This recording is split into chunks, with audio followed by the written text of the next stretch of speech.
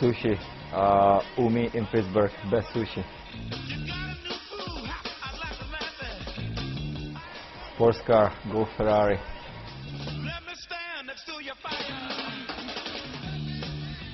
Warm weather guy. Shorts and t-shirts. Let's go play golf. Ryan Whitney.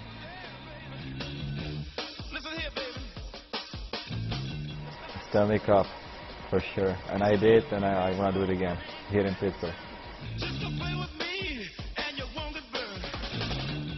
Young blood, because uh, my first teammate Steve Thomas played a little role in that.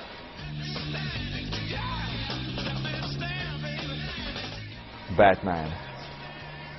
I don't know, he just looks cooler.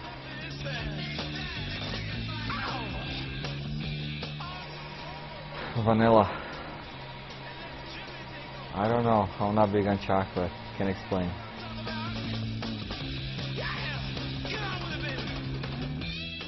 Pop, yeah.